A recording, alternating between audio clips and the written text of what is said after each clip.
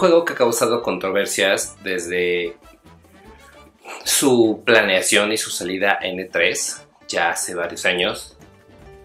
Desde su parte visual, exclusividad con solo Microsoft, en que toda la gente lo quiere checar o lo quiere probar. En todo ese aguas que ha causado la salida de este juego. Y todo fue muy bien. En su salida la gente le gustó, la gente le agradó. Tiene sus pros, tiene sus contras. Algunas veces se cae, algunas veces... No sé.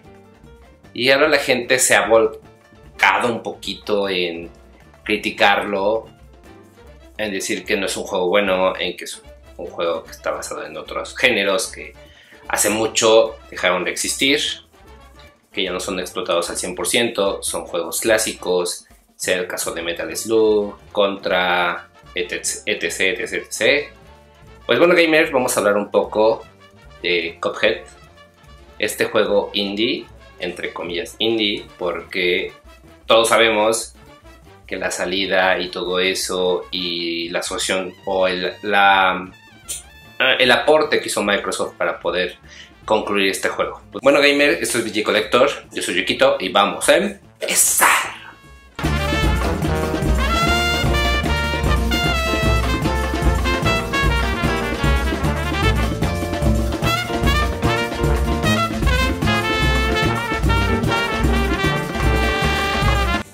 Pues sí, este juego que ha causado furor entre los. Ah, entre los jugadores, ya sea de Nintendo, de PlayStation, de PC, de PC y, Microsoft, bueno, Xbox, lo hemos podido estar disfrutando.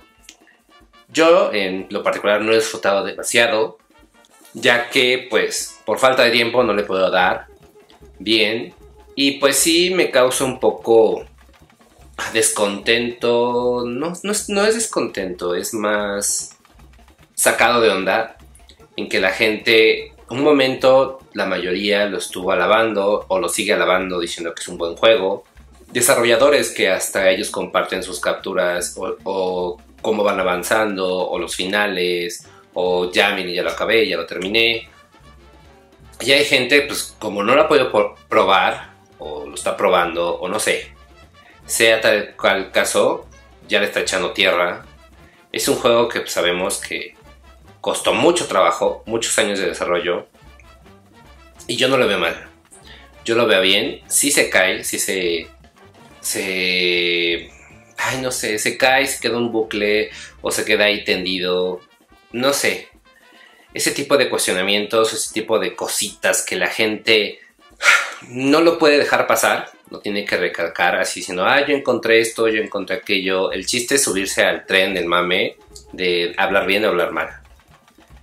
Yo voy a hablar de una manera neutral. Es un juego que está basado en géneros ya existentes, en juegos que ya hicieron historia, en juegos que ya cualquier persona que le guste los videojuegos, que ya tenga un ratito, o nuevos también, ya ha checado Metal Slug, o Contra, o ese tipo de juegos que ya tienen este tipo de dinámicas o este tipo de, de acción en pantalla. Star también es otro. Pero también vemos que ellos no han dicho que no están basados en sus juegos, o sea, no, no lo han desmentido. Son gente que se ve que le gustan los videojuegos, que les apasiona lo que hacen. No le podemos quitar mérito a lo que han hecho un juego que está basado en caricaturas de los años 30. ¿Cómo no olvidar esas caricaturas que veíamos? Fantasías animadas de ayer y hoy. Y veías todas esas caricaturas que pues de niño las llegabas a ver. Las podemos recordar cañón, o sea, son cosas que dices, va, está bien, sí me remonta mi niñez, sí me remonta todo ese tipo de cosas pero todos los productos de hoy en día, sea espectáculo, sea de entretenimiento, bueno, entretenimiento espectáculo es lo mismo, pero de tecnología, bla, bla, bla, bla, se ha remontado mucho a la parte nostálgica de las personas. Yo siempre lo he dicho, somos una sociedad nostálgica, en especial esta. Nos gusta recordar mucho las cosas que ya pasaron, que nos remonte a, esas, a esos años en los que éramos niños o que éramos adolescentes. Y todo eso lo hemos visto en, reencuentros de artistas que los escuchábamos en nuestra adolescencia o reencuentros de, de quien sea. El chiste es esa parte de la mercadotecnia que pues va a pasar y que pues, está pasando.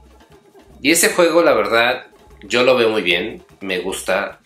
De hecho, pues me hice de un Xbox One S por el, por el simple juego de tener este juego. Yo lo venía siguiendo desde que fue anunciado en ya hace mucho C3.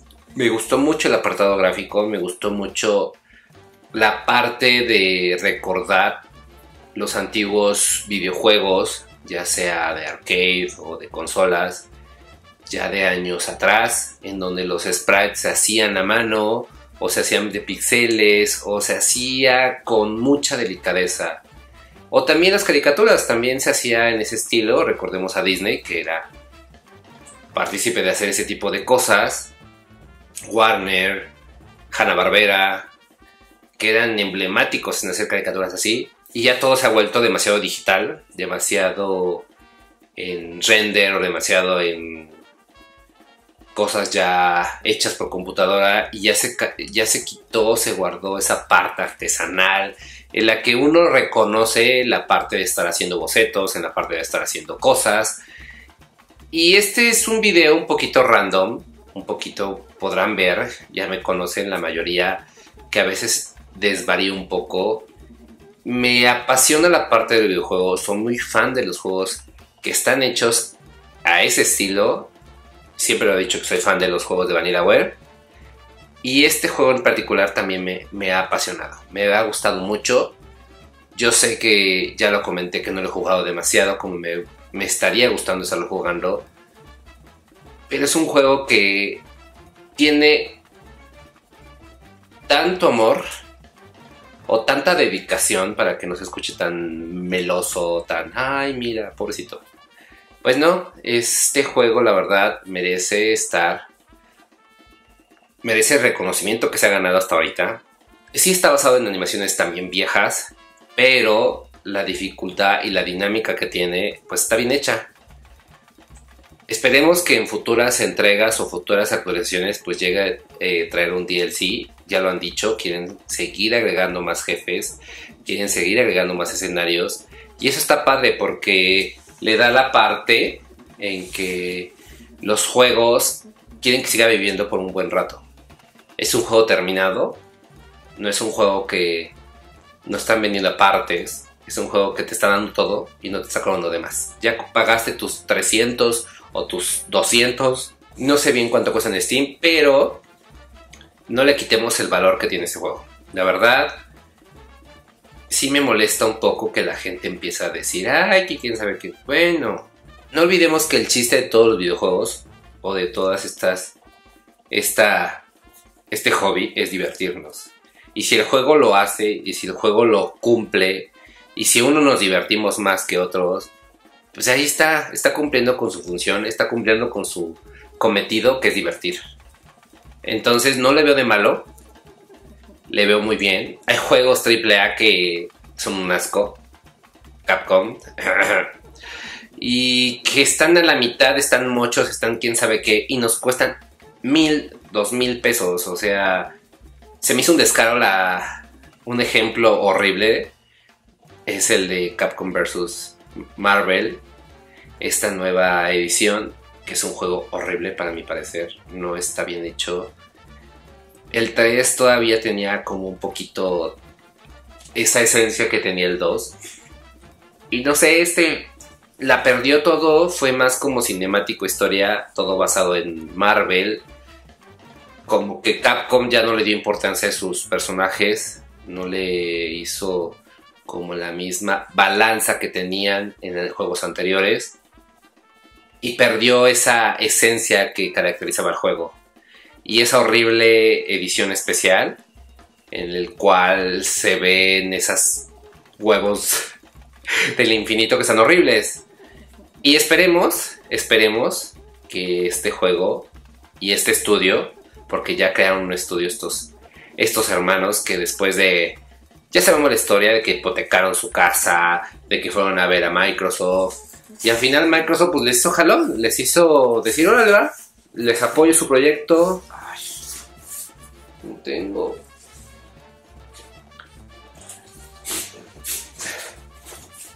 les dijo, va, apoyo tu proyecto, no hay problema, la verdad me interesa, vi la aceptación que tiene, yo confío en ti y vas.